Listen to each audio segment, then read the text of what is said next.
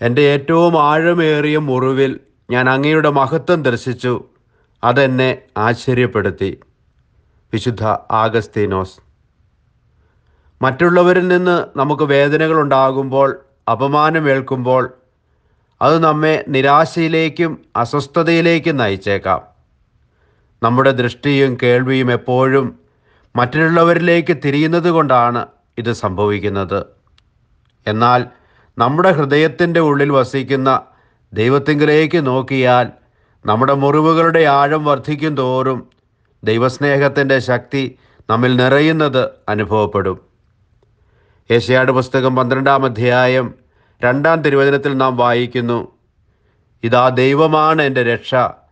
ഞാൻ അങ്ങയിൽ ആശ്രയിക്കും. ഞാൻ ഭയപ്പെടുകയില്ല. എന്തെന്നാൽ ദൈവമായ കർത്താവ് എന്റെ ബലവും എന്റെ ഗാനവുമാണ്. അവിടുന്ന് എന്റെ രക്ഷയായിരിക്കുന്നു. അനുദിന ജീവിതത്തിൽ നമുക്കുണ്ടാകുന്ന വേദനകളിലും മുറിവുകളിലും ദൈവത്തിന്റെ രക്ഷയും മഹത്വവും ദർശിക്കുവാൻ നമുക്ക് പരിശ്രമിക്കാം. ദൈവം നിങ്ങളെ സമൃദ്ധമായി അനുഗ്രഹിക്കട്ടെ. നമ്മുടെ കർത്താവ് ഈശോമിശിഹായുടെ കൃപയും പിതാവായ ദൈവത്തിന്റെ സ്നേഹവും പരിശുദ്ധാത്മാവിന്റെ സഹവാസവും നാം എല്ലാവരോടും കൂടി ഉണ്ടായിരിക്കട്ടെ. ഇപ്പോഴും എപ്പോഴും എന്നേക്കും. ആമേൻ.